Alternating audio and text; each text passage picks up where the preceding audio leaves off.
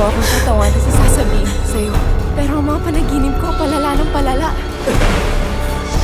Kung ano-ano na ang nakikita ko. Dahil may lumalabas.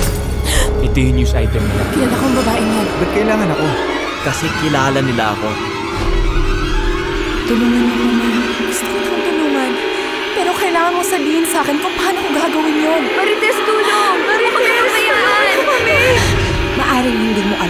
Pero kakaiba.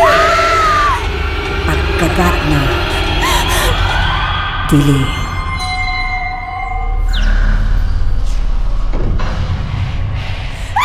Parating na